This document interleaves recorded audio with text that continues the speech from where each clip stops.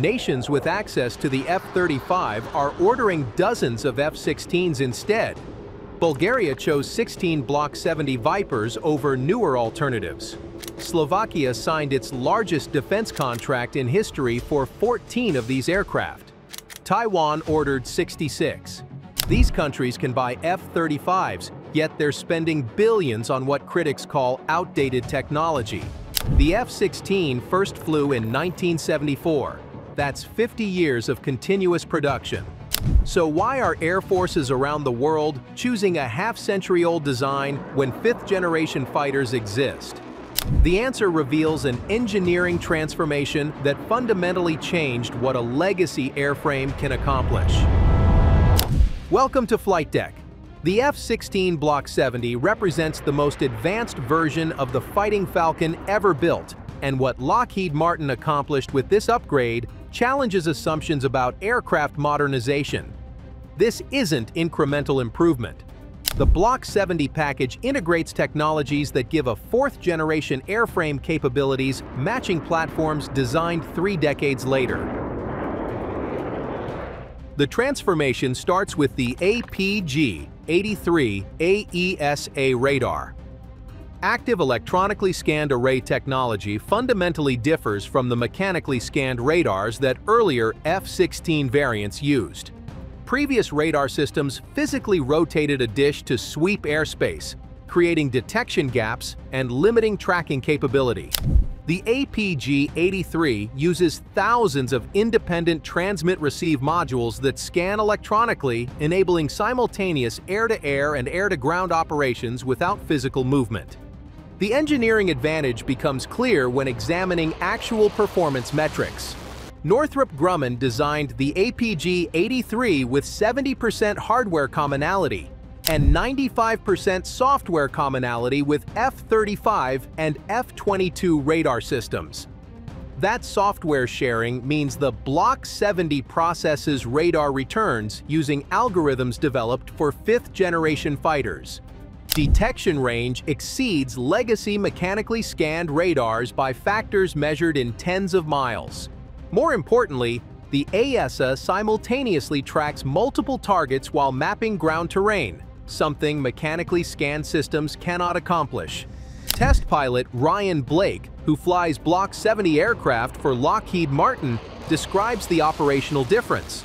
With earlier F-16 blocks using mechanical radar, contacts appeared suddenly once they entered detection range. Pilots had seconds to assess threats and respond. The APG-83 detects targets before they become threats giving pilots minutes to analyze tactical situations and develop engagement strategies. That temporal advantage translates directly to survival in contested airspace. The AESA capabilities extend beyond simple detection. Synthetic aperture radar mapping provides ground resolution matching targeting pods, enabling precision strike operations without external sensors. The radar interleaves air-to-air -air search modes with ground mapping, maintaining 360-degree threat awareness while prosecuting surface targets. This multitasking capability required fundamental software architecture changes that previous F-16 variants could never support. The Block 70 cockpit integration demonstrates how hardware upgrades multiply when properly implemented. Earlier F-16 variants featured two 4-inch by 4-inch displays flanking the heads-up display. The Block 70 adds a 6-inch by 8-inch center pedestal display that fundamentally changes how pilots interact with aircraft systems. That additional screen real estate enables simultaneous presentation of tactical data targeting imagery and flight information without menu cycling or display switching. The center display presents high-resolution synthetic aperture radar maps alongside targeting pod video. Pilots zoom and manipulate imagery without changing display modes or interrupting other sensor operations. Color-moving maps integrate real-time tactical data from Link 16 data links, showing friendly positions, threat locations, and mission objectives on a single integrated picture. This information fusion reduces cognitive workload while improving situational awareness.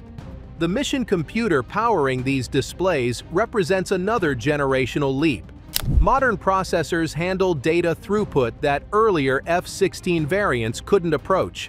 The new architecture supports advanced sensor fusion, electronic warfare integration, and weapon system coordination that legacy computers lacked processing power to execute. Software updates that would require hardware replacement on older blocks install seamlessly on Block 70 systems through standardized interfaces. The Viper Shield Electronic Warfare Suite integrates capabilities that earlier F-16s required external pods to provide. L3 Harris designed this fully digital system specifically for Block 70, combining radar warning receivers with active jamming capabilities in a compact internal package. The digital architecture processes threat libraries and implements countermeasures faster than analog systems that dominated previous generations. The radar warning receiver technology demonstrates the advancement, Digital processing enables threat identification and prioritization that analog systems approximated through lookup tables and preset responses. The Block 70 system correlates multiple radar emissions, determines threat priority based on engagement geometry and capability, and implements appropriate countermeasures automatically. Pilots receive actionable warnings rather than raw sensor data requiring interpretation under stress. The integration with APG-83 radar creates synergistic effects that separate systems cannot achieve. The AESA radar detects and tracks threats while the Electronic Warfare Suite simultaneously jams hostile sensors and implements deception techniques. This coordinated response presents adversaries with conflicting information across multiple frequencies while denying accurate targeting data. Earlier F-16s required manual coordination between radar operators and electronic warfare officers to accomplish similar effects with reduced effectiveness. Structural upgrades supporting Block 70 operations ensure these advanced systems remain viable through 2060 and beyond. Lockheed Martin redesigned critical airframe components to extend service life to 12,000 flight hours, representing more than 50% increase over previous F-16 variants. This structural reinforcement required analysis of fatigue-critical areas and implementation of enhanced manufacturing techniques that previous production blocks didn't incorporate. The extended service life calculation factors in modern operational tempos and mission profiles that early F-16 designers never anticipated. Contemporary fighter operations involve higher G-loading during air combat maneuvering, increased weapons carriage creating asymmetric loading conditions, and prolonged low-altitude high-speed flight profiles that accelerate structural fatigue. Block 70 airframe modifications address these factors through material upgrades, enhanced inspection procedures, and proactive replacement of life-limited components. Economic implications of 12,000-hour service life fundamentally alter procurement calculus.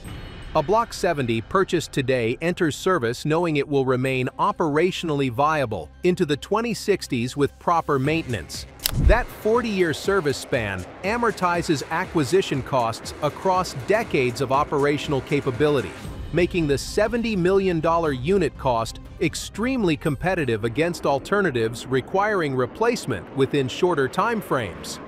The Automatic Ground Collision Avoidance System represents life-saving technology that previous F-16 variants lacked. This computer system continuously monitors aircraft altitude, attitude, and flight path, calculating controlled flight into terrain risk in real time. When the system determines the pilot cannot recover from current trajectory, it assumes control and executes automatic recovery maneuvers. The operational record validates this capability. As of June 2022, Auto GCAS had saved 11 pilots and 10 aircraft from certain loss through automatic intervention. These incidents occurred during combat maneuvering, instrument approaches, and spatial disorientation scenarios where pilots lost situational awareness or became task-saturated. In each case, the system recognized impending ground collision before the pilot and executed recovery procedures that prevented fatal impact. The psychological impact of auto GCAS extends beyond documented saves. Pilots operate with reduced cognitive burden knowing that catastrophic spatial disorientation or momentary attention lapses won't result in fatal ground impact. This confidence enables more aggressive maneuvering during combat training and operations, improving overall force effectiveness while reducing training attrition. International sales demonstrate global confidence in Block 70 capabilities. Taiwan's 66 aircraft order represents the largest F-16 procurement in decades, replacing aging Mirage 2000 and F-5 fighters with modern multi-role platforms. The Taiwan deal includes complete modernization packages ensuring these aircraft match or exceed capabilities of potential adversaries in the region. Greece converted its existing F-16 fleet with 84 upgrade kits, bringing older Block 40 and Block 50 aircraft to Block 72 standard. This upgrade approach provides fifth-generation radar capabilities and modern avionics at fraction of new aircraft acquisition costs. The Greek Air Force maintains numerical strength while incorporating technologies that fundamentally change how their fighters operate in contested environments. Slovakia and Bulgaria both selected Block 70 as their first Western fighter acquisition, replacing Soviet-era MiG-29 platforms with NATO-compatible systems. These purchases demonstrate confidence in F-16 sustainability and upgrade potential. Both nations evaluated alternatives including late-model European designs before choosing Lockheed Martin's offering based on capability, supportability, and lifecycle costs. The foreign military sales pipeline extends through the 2030s, with additional orders expected as nations evaluate fourth-generation plus capabilities against fifth-generation acquisition costs. The Block 70 package provides performance-approaching fifth-generation platforms at roughly 40% of F-35 procurement costs, enabling larger fleet sizes and improved readiness through parts commonality with existing F-16 operators. The operational flexibility that Block 70 enables changes how air forces plan force structure, the United States Air Force initiated upgrades of over 600 Block 40 and Block 50 aircraft to Block 70 standard, ensuring Legacy Vipers remain combat effective through the 2040s. This modernization preserves institutional knowledge and training infrastructure while incorporating capabilities that extend platform relevance. Combat radius and weapons carriage demonstrate Block 70 versatility, Conformal fuel tanks provide additional range without external fuel tank drag penalties, extending operational reach while maintaining hardpoint availability for weapons.